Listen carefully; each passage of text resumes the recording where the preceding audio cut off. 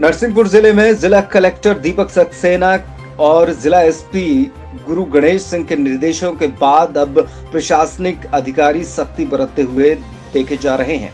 लगातार 21 दिन के महाअभियान बंद की स्थिति नगर, शहर और ग्रामों में देखने के बाद कुछ पल नगर परिषद साई खेड़ा में बैठकर आपसी चर्चा करते हुए गाड़रवारा तहसील और नगर साई खेड़ा में सभी ग्राम पंचायतों में पत्रकारों के माध्यम से अधिकारियों ने अपील करते हुए कहा कि सभी नागरिक अपने घरों में रहें और प्रशासन के हर नियमों का निर्देशों का पालन करें। हाँ